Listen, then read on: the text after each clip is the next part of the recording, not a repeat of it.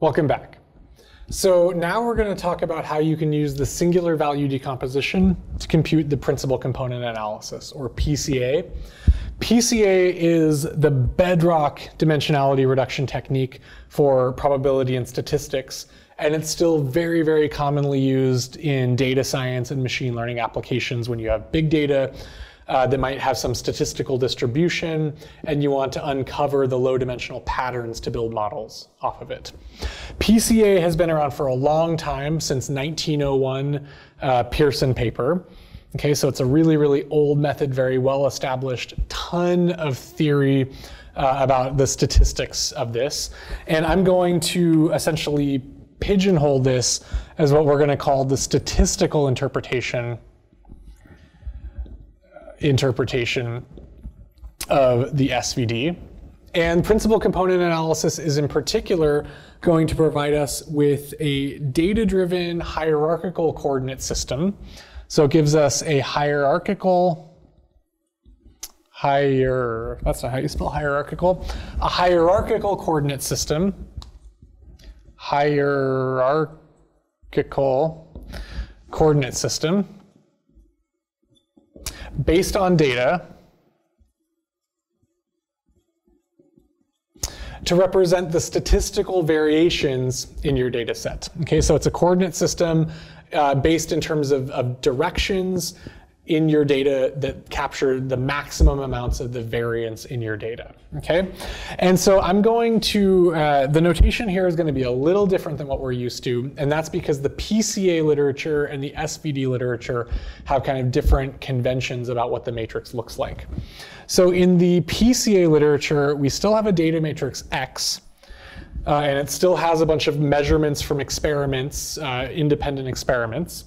But here we're going to represent those independent experiments as big row vectors, x1, x2, and so on and so forth. Okay, so each uh, each row vector x are essentially measurements from a single experiment, measurements from a single uh, experiment. And what we're hoping is that these are kind of individual experiments. So this measurement might be uh, the demographic information from a specific human, you know, age, weight, sex, race, et cetera, et cetera, et cetera. And then X1 would be person one, X2 is person two, and so on and so forth. So the same basic idea as before with our data matrix X, except now instead of columns having the information for a specific individual, kind of that, that measurement from a single experiment, now we're going to have those be rows. And that's because that's consistent with the PCA literature. So I just want to show you how it looks this way. Okay? And the idea here is that we're going to try to find, and we're going to assume that this data X has some statistical distribution. It's not deterministic. There is some statistical variability uh, to this information. And we're going to try to uncover the dominant uh, kind of combinations of features that, that describe as much of the data as possible. Okay, so we're going to do it using the SVD, but we're going to write it a little bit differently. Okay, so because this is the statistical interpretation of the SVD, uh, there's a few steps that are extra that we don't normally do with SVD that we're going to do here. So uh, kind of step one in this procedure is that we're going to compute the mean, the row-wise mean, the average row. So we're going to compute uh, the mean row, and we're just going to call this x bar equals 1 over, I'm going to say that I still have n rows, 1 over n uh, sum of each of these x j's from j equals 1 to n, okay? So this is the average row. I just average all of the rows. The next thing I'm going to do is I'm going to build an average matrix. So the average matrix is going to be obtained by taking a vector of ones and multiplying it by that x bar vector. Okay, so I just literally create n copies of x bar, and that's my x bar average matrix. And so step two is I'm going to subtract the mean from my data matrix. Okay, so I'm going to subtract the mean. So now I have B equals x minus x bar. And the way we say this in, in PCA language is that this is the mean centered data. So if I have some distribution of data um, where there's some you know, average value to all of this, when I subtract that out, it brings everything down so that the center of my distribution is at the origin. Okay, so we're going to be modeling this data matrix X, assuming that it is a zero mean uh, Gaussian. And so this is where we, we subtract off the mean so that it's, it's zero mean. Okay, now what we're going to do is we're going to compute the covariance matrix of this mean center data. So the covariance matrix. Again, this is kind of just the correlation matrix from the SVD, but we're calling it a covariance matrix in this context. So the covariance matrix of the rows of B and we're going to call that matrix C. C is equal to B transpose B. Okay, good. So at this point, all we've done is essentially take our data matrix, we've written it in a transpose from how we normally do it. We've subtracted off the mean, and we've computed this correlation matrix or this covariance matrix. So this looks a lot like the X transpose X from before, uh, but we've subtracted off the mean. Now what we're going to do is we're going to compute the eigenvectors, the leading eigenvectors of this correlation matrix. And that's going to be related both to the singular vectors of x and also to its principal components. Okay? Uh, and I'm going to try my best to get the notation and the terminology correct. Uh, again, this is in section uh, 1.5 in our book, so you can go there uh, to refer for more details. Good. So now what we're going to do is we're going to compute the eigen decomposition. We're going to compute the eigenvalues and eigenvectors, uh, so the eigs of C.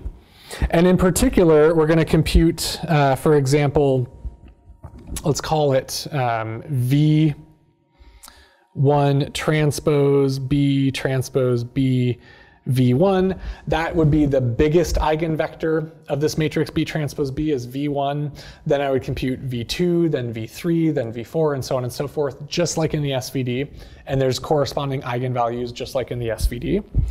And essentially what we're going to get is this matrix C times V equals V times D, where these are my eigenvalues and these are my eigenvectors. Okay, good. So all we've done is we've computed the singular, sorry, the eigenvalue decomposition of this covariance matrix. Now you could actually compute it using the SVD. I'll show you that in a minute. Uh, and you get these eigenvalues and eigenvectors. And here's where the principal components come in.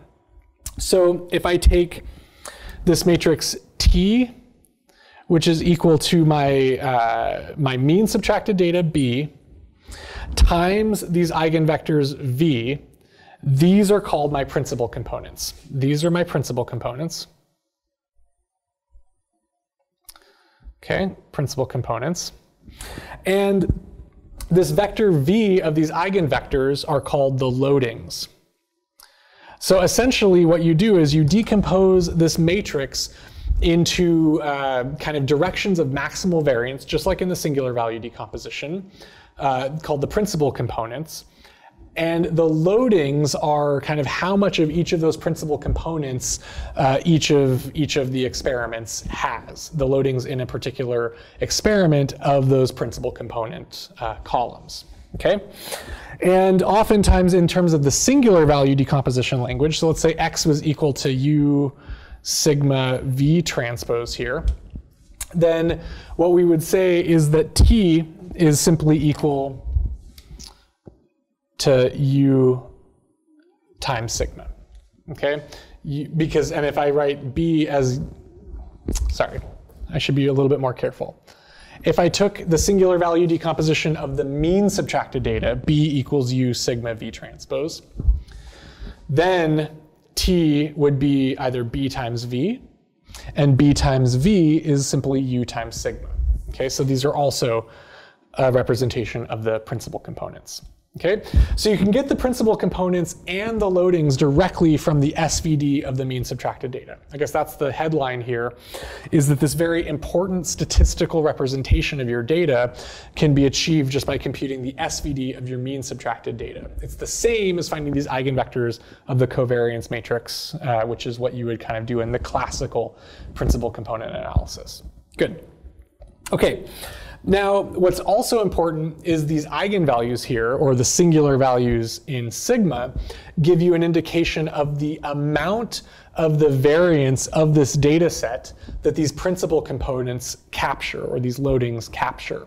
So if I only want to describe this high dimensional data in terms of the first two principal components, or the, uh, and the first two vectors of loadings, I would be able to compute how much of the variance is captured by computing uh, kind of how much energy or variance is in those first two eigenvalues of this, this D matrix.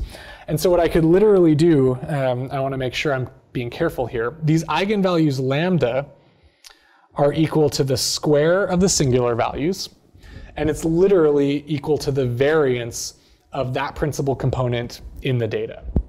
And so if I want to know how much variance is being captured in the first, let's say, R modes, I would take the sum from k equals 1 to r of lambda k divided by the sum of all n of my lambdas.